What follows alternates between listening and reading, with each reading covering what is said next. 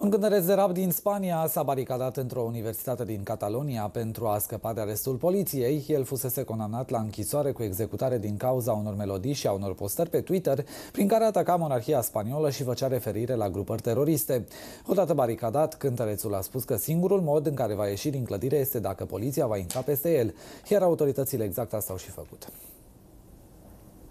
Cântărețul de rap Pablo Hassel avusese la dispoziție până vinerea trecută să se predea pentru a fi dus la închisoare. Doar că decât să fie închis de poliție în penitenciar, a preferat să se închidă singur într-o universitate din Catalunia. Odată baricadat a început să protesteze și să țipe că îi se încalcă drepturile. O respondemos de forma contundente y organizada a estos gravísimos ataques del Estado o van a seguir avanzando en el recorte de los derechos y las libertades más fundamentales. Rapperul consideră că sentința de de 9 luni de închisoare cu executare este una incorrectă și a îndemnat forțele de ordine să vină peste el dacă vor să-l prindă.